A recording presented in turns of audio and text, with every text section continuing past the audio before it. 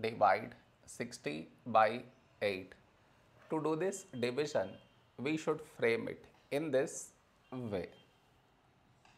60 here, 8 here. This is your step 1.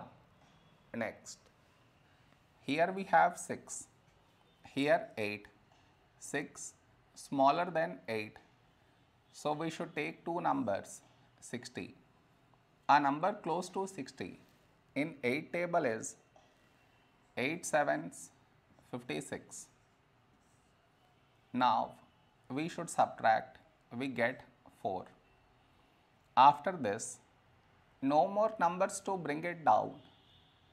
So what we do is, we put dot, take 0. So 40.